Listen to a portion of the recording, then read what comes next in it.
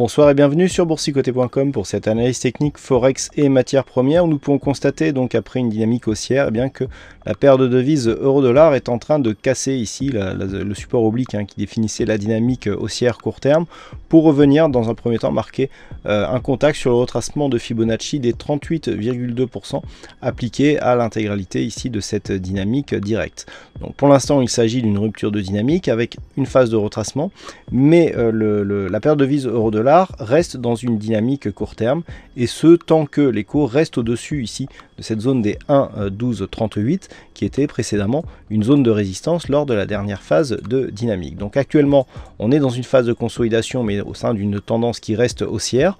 Par contre en cas de rupture ici des 1,1238 qui marquerait du même coup une rupture du retracement à 38,2% de Fibonacci, nous aurions dans un premier temps un objectif qui se situerait dans la zone 50-61,8 avant éventuellement en cas de cassure du 61.8 d'avoir un objectif de retour sur un retracement à 100%, à savoir ici un retour sur les indices 45, voire sur cette zone de support des indices 76. Mais tant que les cours restent au-dessus des 1,1238, le biais reste haussier.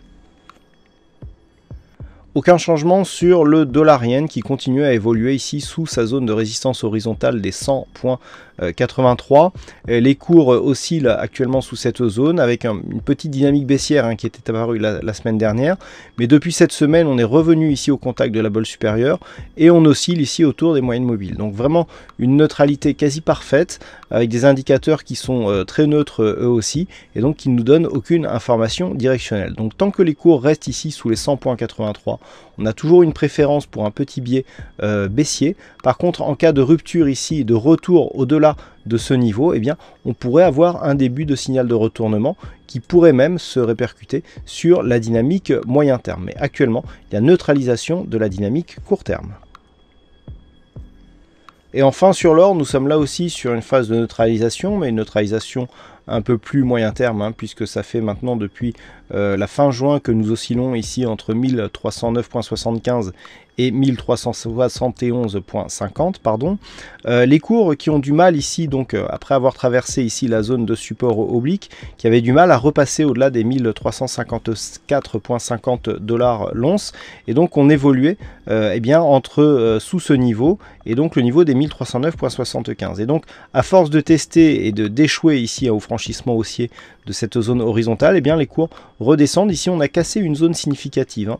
Ce niveau ici, là, d'intermédiaire à 1330 dollars l'once, était un niveau de support qui était important sur la tendance très court terme.